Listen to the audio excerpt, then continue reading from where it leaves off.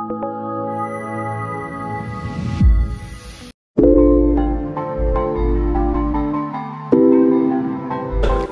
everyone, my name is Zoe. I'm a sales manager from Launch. Today I'm going to introduce our product i-TPMS and show you the operation process of the product. The i-TPMS provides professional and comprehensive services for repair shops to develop their TPMS business. It can program launch LTR RF sensors for unlimited times to replace OE sensors. The sensor data can be read accurately and instantly, including sensor ID, tire temperature, tire pressure, battery status, etc. It has 98% vehicle coverage with TPMS equipped system. 314 or 433 MHz sensors 100% activated and also it has unlimited programming for launch sensors. Now let's move on to the practical exercise. First of all, let's start the engine.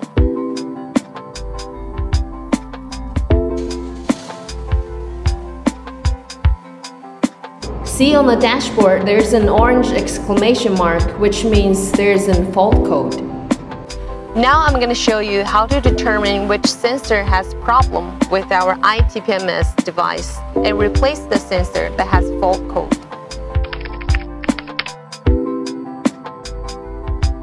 Before we activate and program the sensors, we'll have to connect our i-TPMS device to the diagnostic tool.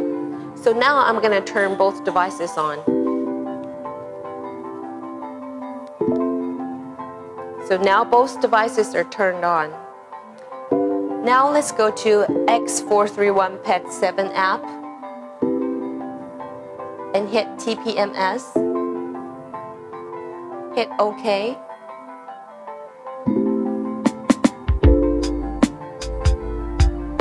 And we choose Overseas China. And now you get to pick your car model. We can see, the data sheet here is empty, so we'll have to activate the tires one by one. First, let's activate the sensor of the front left tire. Second, let's activate the sensor of front right tire.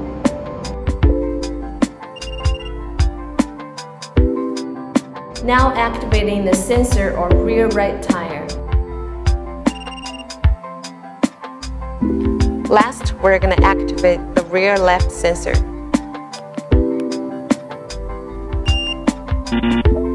As we notice that the sensor of the rear left tire has a problem, now we're going to fix that.